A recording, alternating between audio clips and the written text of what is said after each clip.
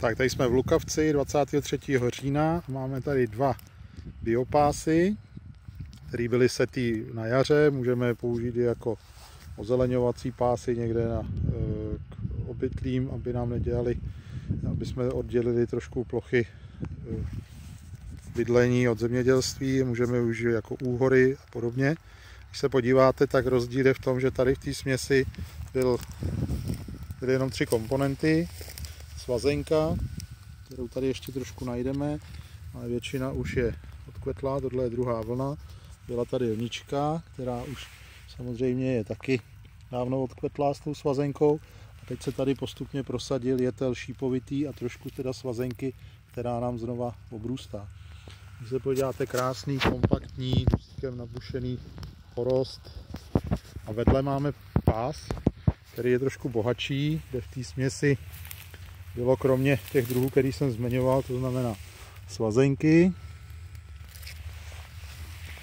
nička a jetel, který tady vidíte všude, tak tam byla ještě světlice.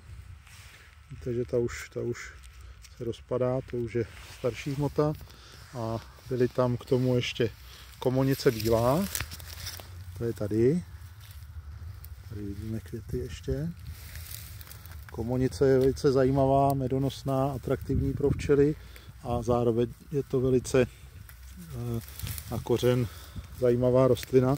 Když se podíváme kořen té světlice, vidíte, jak je dlouhý, krásná práce v půdě a tomu ten jetel, když se podíváte, jaký má hlávky obrovský, to jsou, to jsou krásný toho jetele šípovitýho.